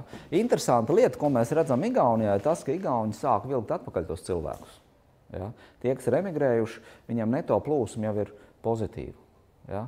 Viņi brauc atpakaļ. Un viens no iespējamiem skaidrojumiem ir tas, kas notiek ar algu līmeni. Un šeit ir salīdzinājums gan ar Lielbritāniju, ja, visas trīs Baltijas valstis, Latvijas sarkanā, šeit ir sākot no 2002. gada līdz 2018. gadam ieskaitot, mēs redzam alga procentos no minimālās algas Lielbritānijā. Tas alga kāpums, ko tas ir palīdzējis, tas ir palīdzējis uzvilkt algas uz augšu, ja, līdz ar to tā plājas ir mazāk. Igauni jau sāk sūknāt šos cilvēkus atpakaļ. Ja mēs skatāmies savukārt pēc pirkspējas paritātes, protams, šeit ir vēl viens nu, diezgan liels saules grauds, ja, kas ir pirktspējas paritāte. Nu, tur tas vērtējuma kļūdas, protams, var būt lielas, bet tendences parāda. Ja mēs skatāmies pēc pirktspējas paritātes, pēc dzīves dārdzības, ja, nu, tad mēs izskatāmies krietni labāk. Ja. Tā kā šis ir ļoti būtiski, jo tā alga ir lielāka, jo mazāk vēlme ir aizbraukt. Un, ja šeit situācija ir laba, tad tomēr cilvēkiem ir vēlme atgriezties. Ja? Tā kā tas algu kāpums ir būtisks, un tas arī, manuprāt, ir, protams, mums nevajag tur algu kāpumu desmit un tā tālāk. Ja? Tas rada makroekonomiskus riskus, bet algu kāpums mums ekonomikā ir nepieciešams. Ja? Un, lai to mēs varētu atļauties, mums ir nepieciešams ražīguma kāpums. Uh, vēl mazliet par to imigrāciju. Ja? Atsevišķos gadījumos mūsu algu līmenis salīdzinot ar Ukrajinu, Baltkrieviju un Krievijas uh, reģioniem, kas ir tuvu Latvijas robežai, ir apmēram pašreizajā brīdī izskatās tieši tāpat, kā mēs izskatījāmies attiecībā pret, piemēram, Eiropas Savienību 2004. gadā, kad mēs iestājāmies Eirozonā. Protams, tā vēlme šo, šiem cilvēkiem braukt uz Latviju strādāt ir, jo tas algu uh, plaisas lielums ir milzīgs. Bet, kā jau es minēju, ja, nu, tā politika nedrīkst būt durvis vaļā, viss, kas grib braukt iekšā. Tam ir jābūt tomēr politiski pārdomātam. Ja, atsevišķos sektoros uz prasmēm balstītam, jo tas galvenais ir, kā mēs darba tirgu varam ievilkt tos 55 tūkstošus, kas ir mūsu iedzīvotāji, un cerams vēl daudz atvest, nu, at, atsaukt atpakaļ no tiem, kas ir emigrējuši. Um, okay. Tātad darba tirgus vēl ar vienu jūtas diezgan labi. Problēma, ka tas ražīgums neaug tik strauji, cik gribētos. Ja? Algu kāpums uh, mums ir ļāvis tas algas pacelt. Tas nozīmē, ka cilvēki, cerams, arī brauc mazāk prom. Ja? Uh, mēs redzam statistikas datos, ka tā neto pozīcija izbraukšiem un iebraukšiem kļūst mazāk, vēl ar vienu, diemžēl, negatīvi, jā, pēc dažiem mērījumiem. Bet uh, nu, mēs izskatās, esam vismaz tajā pareizajā virziena, uh, virzienā mēs virzamies. Ja mēs skatāmies uz vēl vienu būtisku elementu, kas notiek uh, un kur ir tā lielākā atšķirība no pagājušā biznesa cikla kas ļauj domāt, ka šoreiz tā ekonomikā ziema vai tā recesija nebūs tik sāpīga, tai nav pamats būt tik sāpīgai kā iepriekšreiz, ir tas, kas notiek finanšu sektorā. Pagājušajā reizē mēs redzējām ļoti strauju kreditēšanas kāpumu. Tumšākā līkne ir gads pret gadu izaugsmas tempi, mājasēmniecības uh, Latvijas mājasemniecības un Latvijas rezidentu uzņēmumu uh, kāpuma temps milzīgs. Jā, tur 40% un vairāk gads pret gadu. Tas kredīta portfels vienkārši eksplodē tajā laikā. Jā. Ko mēs redzam pašlaik? Es teiktu, ka tā kreditēšana ir pārāk vārga. Jā. Ko mēs redzam pēdējos pāris gadus? Jā. Mēs redzam, ka tie cipariņi ir mazliet plusos, jā, gan mājsaimniecībām, kas ir zaļā raustītā līnija, gan uzņēmumiem. Uh, kas ir otra raustītā līnija, bet tas izaugsmas temps kredītu apmēram ekonomikā ir krietni lēnāks nekā IKP nominālais izaugsmas temps. Tas nozīmē, ka kredītu apjoms pret ekonomiku kopumā turpina pēc būtības sarukt. Ja? Kredītu it kā kļūst vairāk, bet ekonomika aug straujāk pēdējos pāris gadus. Ja? Un iedodot jums kaut kādus ciparus tādam samērojumam, ja? pirms krīzes sākuma, ka ekonomika krita, jā, jau sāka krist un kreditēšana arī jau sāka piebremzēties, tad rezidentiem izsniegto kredīta apjoms bija pie 100% no IKP. Praktiski tāds pats kā Igauniem tajā laikā. Tagad mēs redzam, Latvijā ir pie 40% no IKP. Igauniem ir pie 70%. Ja? Tā kā vienkārši krīze iepriekšējā reizē Latvijā bija krietni, krietni sāpīgāka, piedāvājuma pieprasījuma puse krietni, krietni bažīgāka pašlaik, un līdz ar to šajā biznesa ciklā uh, nekādus brīnumus kreditēšanā mēs neredzēsim, vēl jau vairāk ņemot vērā šo manivālu risku, uh, jeb teiksim, nerezidentu biznesa beigas un visādas tādas lietas. Ja. Cerība ir, ka nākošajā biznesa ciklā, mēs izdzīvosim to recesiju, ka sapratīs uzņēmumu piedāvājumu pieprasījumu pusē, ka ne katrā recesijā ir jānobankrotē, ja, tad tas drosmes būs vairāk.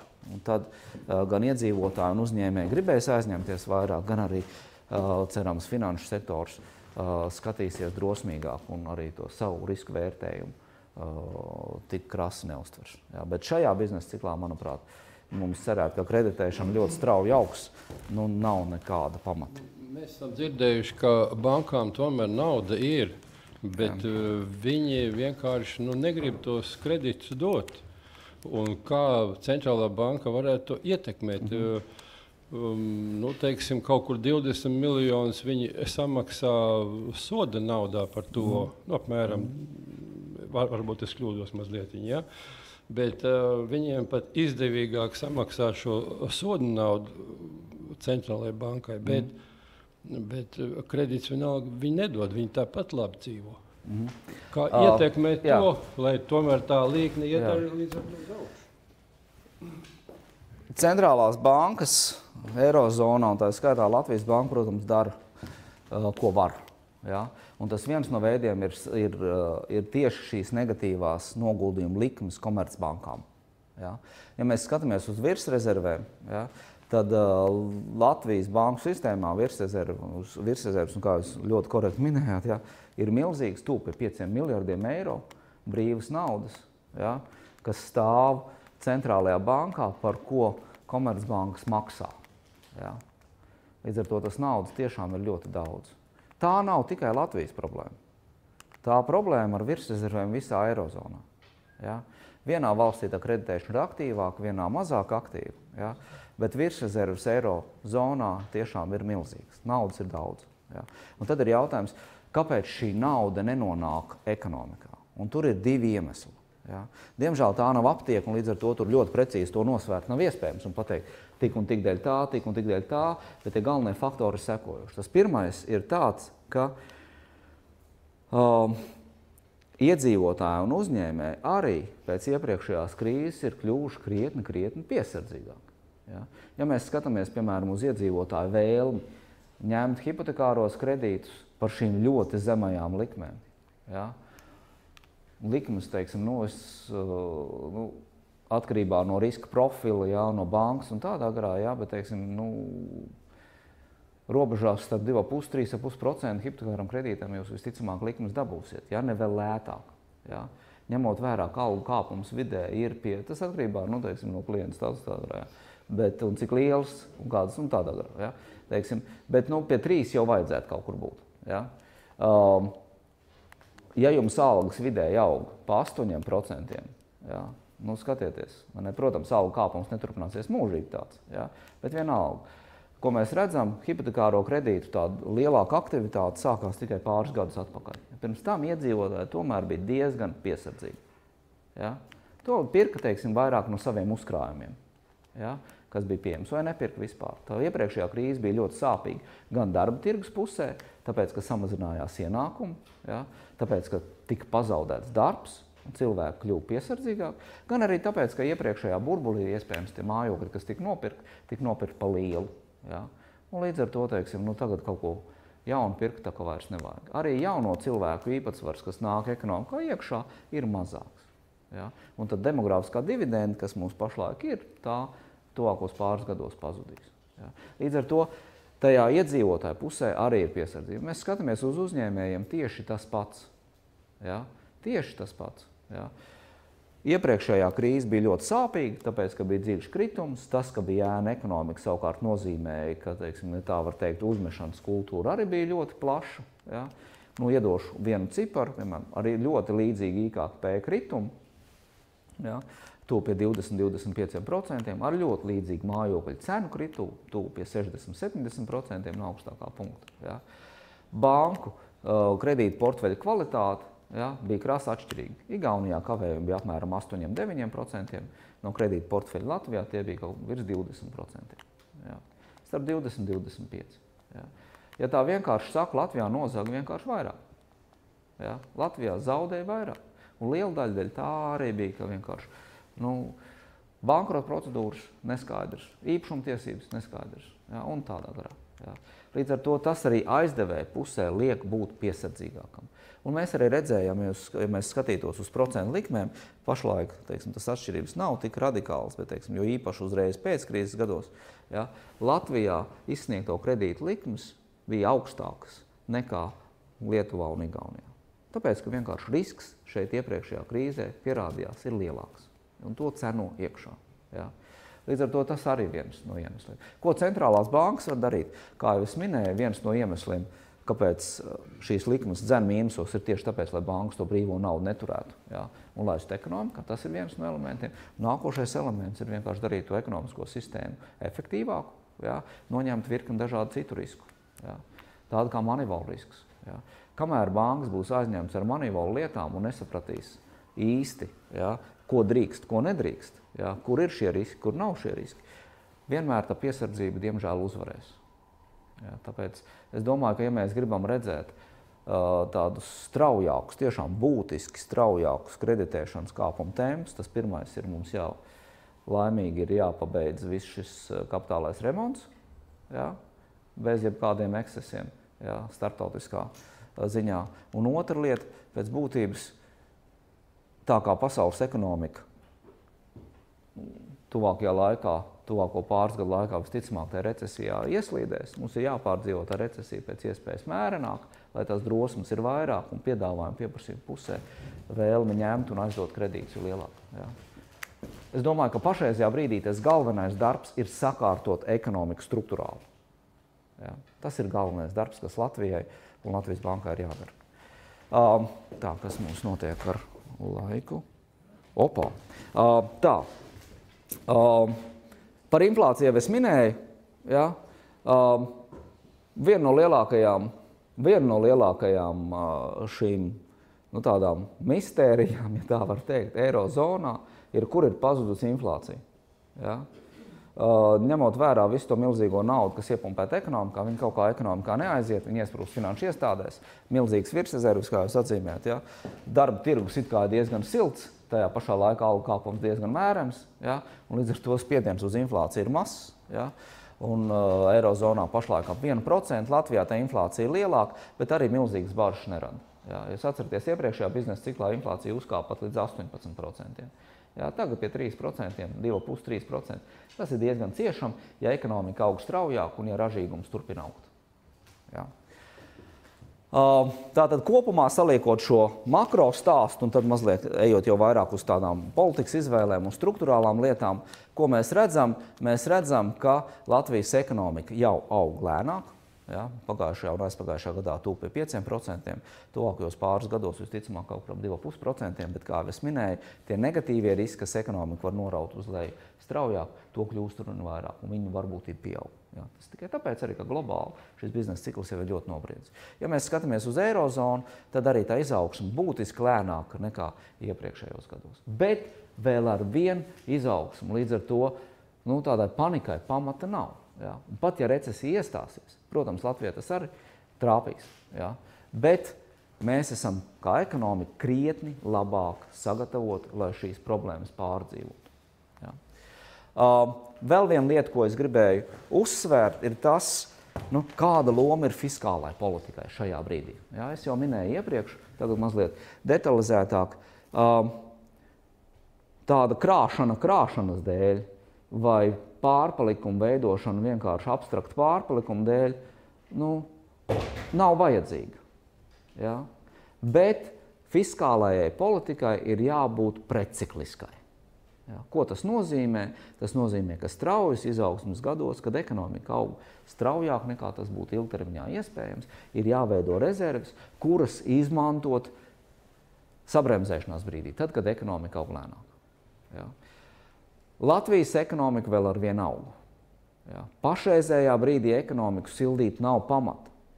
Bet pašreizajā brīdī, ņemot vērā visu to nenoteiktību, kas ir pasaulē un tos sabremzēšanās riskus, arī veidot budžetu ar pārpalikumu, manuprāt, arī nav pamata. Tā fiskālā telpa tēriņu pusē, kas ir, mums ir jāizmanto. Jā, diemžēl, ja mēs skatāmies uz, uz uh, valsts budžeta, nu, kopbudžeta deficītu, kur valsts un pašvaldības kopumā, mēs redzam, ka tikai šajos izaugsmas gados, tikai 16. gadā mums bija neliels plusiņš. Un īstenībā 16. gads bija viens no vājākiem gadiem. Jā, struktūra fonda dēļ un tādā garā. Jā. Citus gadus mēs pēdējā šī biznesa cikla laikā esam veidojuši visu laiku deficītu. To iespēju veidot pārpalikumu visticamāk šajā biznesa ciklā Latvija ir palaidusi garām. Jā. Deficīti tomēr ir bijuši diezgan mazi, vairāk vai mazāk fiskālās disciplīnas likuma ietvaros, ko tas nozīmē, ka parāds, valsts parāds pret ekonomiku, ņemot vērā, ka ekonomika aug, bet ekonomika aug straujāk nekā deficīta apjoma. Ja? Mēs redzam, ka tas, deficī, tas parāda apjoms ir turpinājis samazināties. No kaut kādiem 40% līdz nu, 36, 37% no ekonomikas. Ja? Tā kā pašreizējā brīdī, ņemot vērā to nenoteiktību, ņemot vērā biznesa ciklu sabremzēšanos, ņemot vērā jau de facto lēnāku izaugsmu, es domāju, tas, ka nākamā gadā mēs redzam, ka budžets ir ar deficītu, tas ir adekvāti. Ja? ekonomiku pašreizajā brīdī papildus bremzēt ar budžeta pārpalikumu ir novēloti. Šo iespēju mēs neizmantojām. Ja? Labā ziņa ir tāda, ka deficīti bija nelieli, un līdz ar to tas, deficīti, tas parāda īpatsvars pret ekonomiku kopumā ir sarucis. Ja? Bet kopumā, ja mēs skatāmies uz nākotni, tad, protams, labos gados šis pārpalikums ir jāveido, jo, jo zemes parāda līmenis jā, ir apdrošināšanas polise recesija. Jā. Ja parāds ir zems, tad aizņemties un ekonomika stimulēt ir lētāk. Ja parāds ir liels, tad vai nu neaizdod, vai aizdod pa dārgu. Jā. Un to nu gan mēs negribam. Okay. Tātad, skatoties, manuprāt, uz 20. gadu, un pēc tam nākšos slaidos arī tālākā nākotnē, manuprāt, kas ir tas būtiskākās lietas, ja, kas būtu jādara. Un esmu sadalījis trīs daļās. Viens ekonomiskā politika, nākšais biznesa cikls, un tad mazliet izņemot ārā arī vairāk par nodokļu politiku, jo tas ir ļoti izskanējis arī kā viens no nākošā gada uzdevumiem uz 21. gada budžetu. Runājot par ekonomiku. Par, par politiku, manuprāt, ļoti būtiska lieta ir laicīgi pieņemts budžets. Jā, mēs redzam, ka pagājušajā nedēļā budžets atstāja ministra kabineta telpas, un šī nedēļas sākumā tika aiznests uz sājumu. Jā. Protams, budžets nav ideāls. Tur ir vesela virkne lietu, jā, ko nākošajā gadā mēs varam skatīties, kā darīt labāk. Bet es domāju, laicīgi pieņemts budžets viennozīmīgi ir uzslava politiķiem, jā, jo vienbrīd likās, ka tas budžeta process ievilksies bezgalīgi. Jā. Šajā brīdī, kad nenoteiktība ir augsta, vēl radīt papildus nenoteiktību, kas var ekonomiku bremzēt dēļ tā, ka budžeta nav, ja, būtu nepārdomāti. Ja, tā kā ļoti labi, ka tas budžets ir aizgājis jā, uz saimu redzēs, ko saima ar to darīs, bet cerams diezgan naski un laicīgi to arī pieņems. Nākošā lieta, kā mēs jau pāris reizes ieskicējām šeit sarunās, ir tas, kas notiek ar finanšu sektoru. Jā, finanšu sektors ir tāda nu, lieliska uh, ventilācijas sistēma, kas vai nu labas ziņas, ja, vai nu labos mikrobus vai sliktos mikrobus, ja bacīļus izplata pa visiem. Ja. Līdz ar to, jo ātrāk šis finanšu kap sektora kapitālais remonts tiek pabeigts, sakarīgā, pārdomātā veidā, kas to sistēmu dara drošāku, labāku un efektīvāku, jo visai ekonomikai būs labāk. Protams, nākamā gada laikā tur nebūs tā, ka viss ir pabeigts un visi tagad varam iet mājās. Tas darbs turpināsies, bet nākamā gadā būtu tiešām jāsaprot, nu, tas sliktākais risks ir aiz muguras, un tad mēs noskaidrojam, kā un ko darīt turpmāk. Ja. Un šeit ļoti būtiska loma, protams, ir, ir FKTK. Ja. Sarunāties ar bankām, kāda riska ir pieļaujama, kāda nav pieļaujama. Un runāt par struktūrālām reformām. Ja. Uh, valsts pārvaldē absolūti nepieciešams. Jā, manuprāt, administratīva teritoriālā reforma. Mēs varam, protams, strīdēties par to, cik tur ir jābūt šīm administratīvām vienībām, bet 119 nu dienu ir viennozīmīgi par daudz. Jā. Tā kā uz tā savukārt būvējās izglītība ja, un veselība un, protams, arī zinātne. Ja. Viena no lietām, kas Latvijai viennozīmīgi ir jādara, ir nauda izpētē un attīstībai. Ja. Mēs tērējam 0, praktiski nekas, īpaši, ja mēs skatāmies privāto sektoru. Jā, visticamāk, tie cipari nav precīzi, jā, visticamāk, tie cipari nav pareizi. Bet mēs, ja mēs tur investētu ļoti daudz, tad mēs redzētu, ka ekonomika ļoti advancēta. Ja tehnoloģiju ziņā. To mēs neredzam. Līdz ar to tā problēma, ka tur mēs tērējam krietni par maz, ir pamatot. Ja? Šādām ziņām un šādām lietām ir jātērē vairāk. Un kaut vai no tādas vienas lietas, es domāju, nu, beidzot tas izglītības un zinātnes likums tiks salikts vienā. Ja? Nu, šīs divas lietas ir absolūti saistītas. Ja? Tas nevar būt atrauts. Ja mēs skatāmies uz biznesa ciklu, kā jau minēju, lēnāk, bet Latvijas ekonomika joprojām aug. Ja? Un līdz ar to pašreizajā brīdī tur sildē, ir sildīt specifiski Latvijas ekonomika nav nepieciešams. Bet, kā mēs redzējām, tie sabremzēšanās riski ir. Un tajā brīdī, ja ekonomika pēkšņi sāk augt lēnāk, ja, ir nepieciešams, ka ir sagatavoti kaut kādi lieli, piemēram, infrastruktūras projekti, kuru sākšana vairs neprasa daudz laika. Līdz ar to tagad būtu ļoti labi sakārtot administratīvo procesu. Ja. Sakārtot uh, nu, infrastruktūru tam, lai arī privātā, satams, publikās, publiskās privātās partnerības instruments varētu tikt izmantots efektīvāk. Ja? Cik es saprotu, Lietuvā tas ir bijis efektīvāk. Latvijā ne īpaši laba pieredze. Ja? Tā kā šis ir tas brīdis, kad mēs to varam mācīties, sakārtot, lai brīdī, kad ir nepieciešams, mēs to varam iestartēt. Ja? Jā, būs lielie projekti, kas ekonomikai palīdzēs, vēl nāks struktūra fonda iekšā, vēl būs Rail Baltica un tādas lietas. Ja? Bet visticamāk, mēs varam darīt krietni, krietni vairāk. Ja? Līdz ar to, teiksim, ja mēs skatāmies par struktūra fondu ieplūdu, tad tam procesam var būt jo mazāk pārāvumu, jo labāk. Diemžēl teiksim, tā jaunās Eiropas komisijas izveidošana ir aizkavējusies, un tas var kaut kādas korekcijas ieviest. Bet pēc būtības mēs atramies 16. gadu, kas notika Latvijas ekonomikā, ka pēkšņi sabremzējās struktūra fondi. Ja? Tādā brīdī, kad pasaules ekonomika ir vāja, mums vēl šādu efektu dabūt sev uz galvas un pleciem noteikti nevajadzētu. Ja? Un Protams, viena lieliska lieta, ko mēs redzam šogad, kas ir iestrādāta jau 20. gada budžetā, ir, protams, efektivitāte. Jautājums nav tikai par to, cik naudu valsts tērē, bet arī kā, cik kvalitatīvi tērē. Ja? Un uh, šogad tas process šķiet ir uzlikts uz tādu struktūrālāku ja? uh, uh, skatu, ja? kas tiks turpināts arī cerams nākošajā gadā. Ja? Tā efektivitāte tēriņu ziņā ir absolūti svarīga.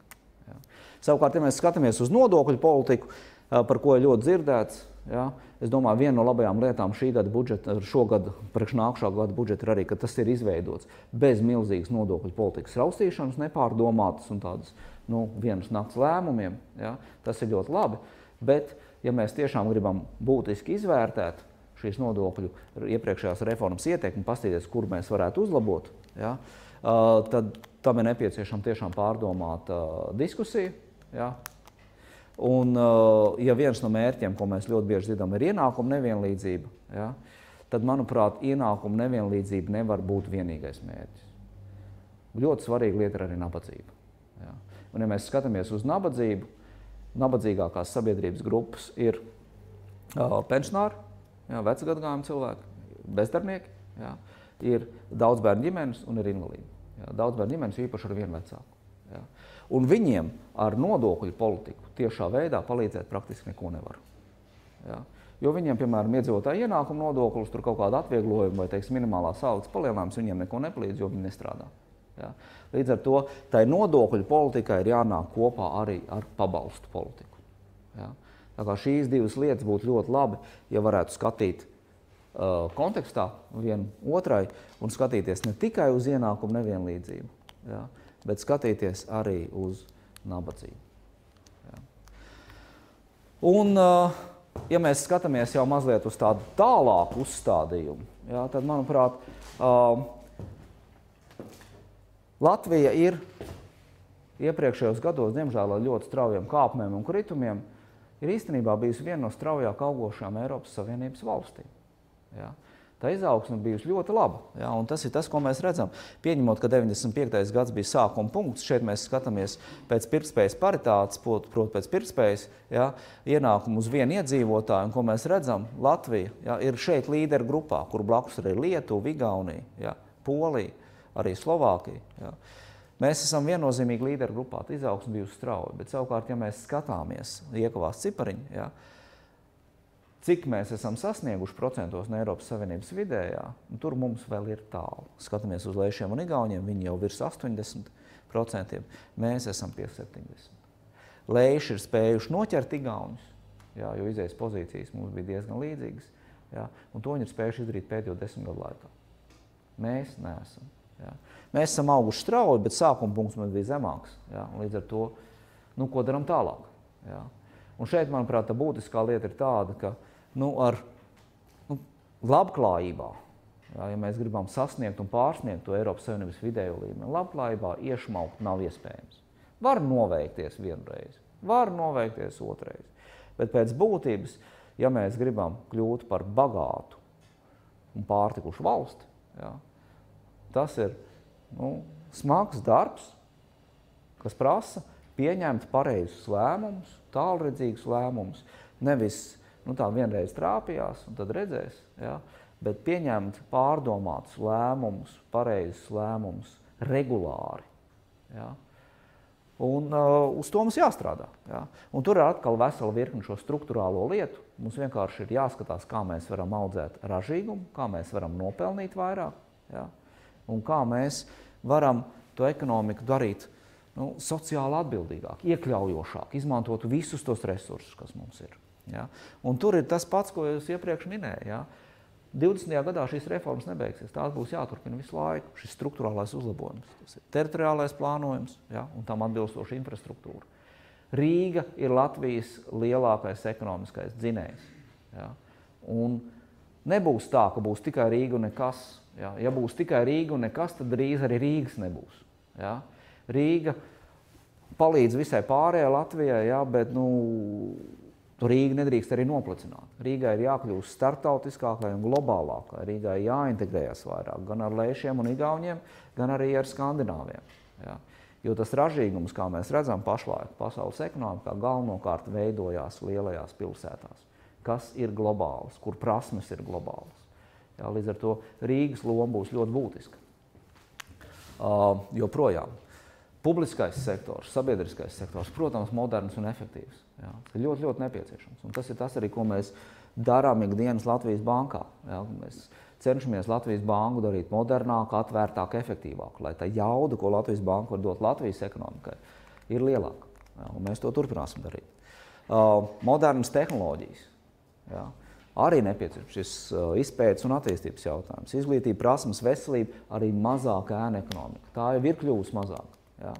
Bet tas ir viens būtisks elements, jo kas mums jāmācās? Mums jāmācās sadarboties. Ja ir ēna ekonomika klāt, tad sadarboties ir grūti, jo riski ir augsti. Jā. Un sadarboties ne tikai Latvijas ietvaros, bet sadarboties starptautiski. Protams, ja nekas no tā nebūs, jā, tad visticamāk ekonomika pati turpinās augt, bet tas izaugsmas temps būs lēns. Jā. Ekonomikā struktūra mainīsies. Ja? Bet mēs varam palīdzēt, lai tā struktūra un izaugsme ir straujāka. Un to mēs redzam, piemēram, ļoti uzstāms, manuprāt, piemērs ir, ja mēs skatāmies uz eksportu. Ja? Iepriekšējā biznesa cikla noslēgumā, krīzē, eksports bija 40% no ekonomikas. Tagad eksports ir pie 60% no ekonomikas. Tas eksports ir audzis. Ja? Uzņēmēji redz, ka tas iespējas ir galvenokārt ārpusē. Ja? Tas iespējas ir ārpus Latvijas robežām, kur tas tirgus ir krietni, krietni lielāks un neizmērojamāks. Ja? Bet nu, lēšiem un igauniem šie cipari ir vēl lielāki. Ja? ja mēs skatāmies uz eksporta struktūru, tad arī tā struktūra ir mainījusies. Atceramies vēl teiksim, 90. un 2000. gadu sākumā, nu, ko mēs redzam šeit, ostas. Ja? Ostu biznesa apjoma ziņā būtiski audzes nav. Mēs skatāmies uz dzelzceļu, kas ir ļoti cieši saistīts ar ostām. Arī teiksim, pēdējos desmit gados mēs nekādu būtisku izaugsmu neredzam. Pēdējā laikā mēs redzam, ka tur ir kritums, tāpēc ka Krievija pārvirza savus plūsmas vairāk uz savām ostām. Ja mēs skatāmies uz finansēm, ja, mēs arī redzam, ka tur ir kritums. Ja. Nu, nerezidents bizness. Bet ko mēs redzam, kur ir ļoti strauja izaugsme? Ja, mēs redzam, ka turisms ir audzis strauji, mēs redzam, IKT sektoru ļoti straujas izaugsmes. Ja, tā, tā ekonomikas struktūra mainās jau pat par sevi. Bet, ja ekonomiskā politika ir atbilstoša, tad šīs uh, izaugsmes spējas var vēl vairāk pastiprināt. Un Lietuvas piemērs šeit atsevišķos gadījumos ir ļoti, ļoti uzskatāms. Ja. Tā kā uh, kopumā noslēdzot, es domāju, tie galvenie secinājumi ir sekojošas. Pirmais ir ekonomika turpina augt, ja, recesijas pašlaik nav, ekonomiku papildus sildīt nevajag, bet tie sabremzēšanās riski ir pieaugusi. Ja. Uh, lai Latvijas ekonomika, to pasaules ekonomikas sabremzēšanos pārdzīvot labāk, tur vesela virkne mājas darbu, ko mēs esam darījuši un ko mēs vēl varam darīt ekonomikai uh, palīdzot. Ja. Un ja mēs gribam, lai Latvija tiešām kļūst par pārtikušu valstu, un es gribu, un es ceru, lielākā daļa Latvijas iedzīvotāju to grib, ja, uh, tur arī vesela virkne lietu, kas mums ir jāturpina darīt. Ja. Un tā mēs pieskāros iepriekš. Tā kā uh, liels paldies! Lielas paldies par jūsu uzmanību, liels paldies par jautājumiem. Varbūt ir vēl kādi jautājumi. Vai mums jau laiks ir beidzies? Ir laiks ir beidzies. Ok, liels paldies. Es ceru, ka šī ir tradīcija. Ja? Un tad vai nu pavasarī, vai nākošais gadu rudenī darām to pašu. Liels paldies!